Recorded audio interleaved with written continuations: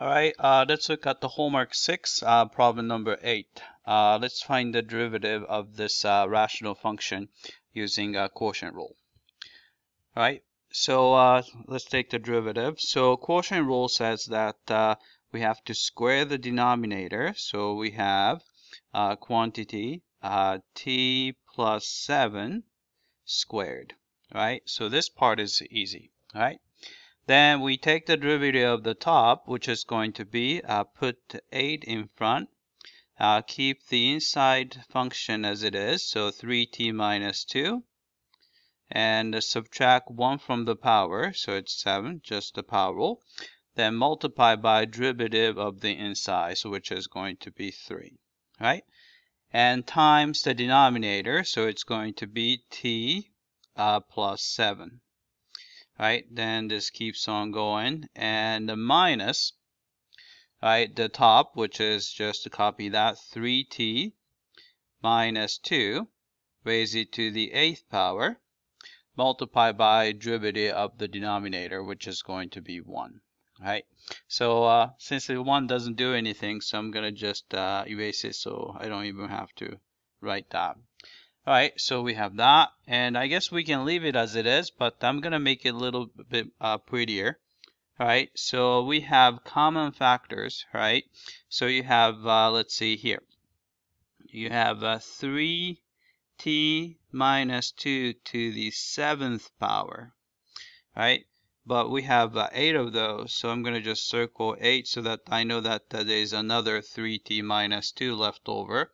So I'm going to just pull that out. So you have uh, 3t minus 2 raised to the seventh power. All right, then we just need to um, um, collect um, uh, the leftover terms.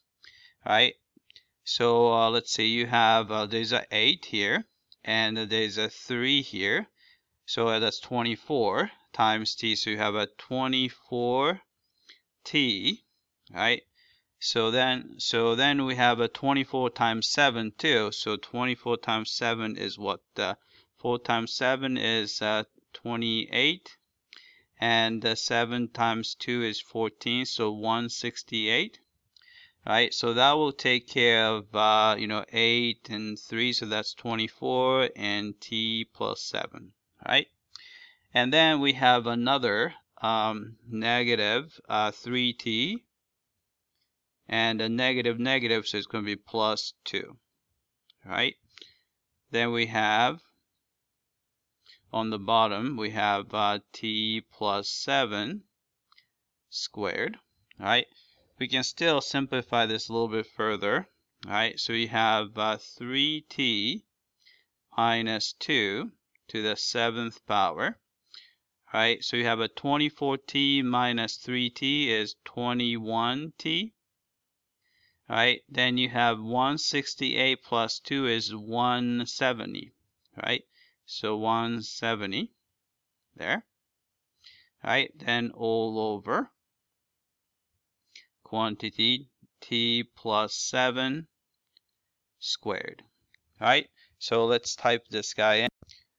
Alright, so what we got was, so we have a fraction, and on top you have uh, 3t uh, minus 2 raise it to the seventh power times uh, 21t uh, plus 170, right?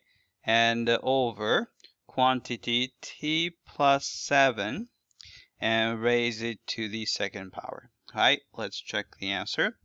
All right, We got that. All right. Uh, that's it. I hope that uh, this was clear.